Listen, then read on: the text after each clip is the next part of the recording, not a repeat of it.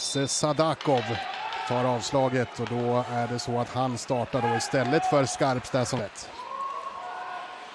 Dahlberg tar insida, bra gjort av Anton Dahlberg och det är 1-0 Bollnäs!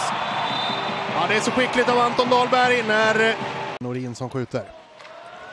Längre hörna den här gången och det är ett skott från Rudell och den går in i mål. Adam Rudell. Oskar West. Pettersson och kolla på det anfallet från Bollnäs! Oskar West med lyftet till Erik Pettersson.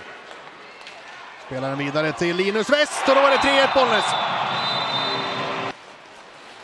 Hämmerleinen. Erik Pettersson, Hämmerleinen och Pettersson i samarbete! Och då har vi 4-1 Bollnäs efter att... Inte där också, men eh, får inte undan bollen i första läget. Och här kommer läge för Erik Pettersson som retfullt enkelt lägger upp den där i nättaket för 5-1. Och det är...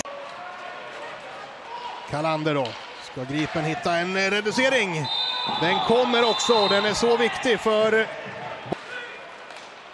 Här då istället för Gripen, det är Hjelm. Ska Gripen hitta reduceringen till 5-3? Det gör man också.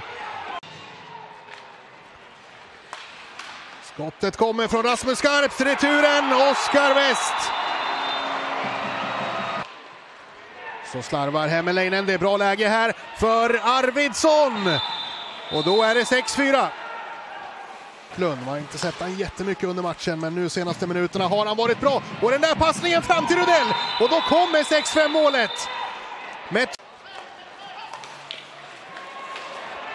Här kommer eh, Bollnäs direkt efter reduceringsmålet. Erik Pettersson! Han är tremålsskytt. Han har gjort... Ja, där blåser Hilerius av den här eh, händelserika matchen i SBB Arena.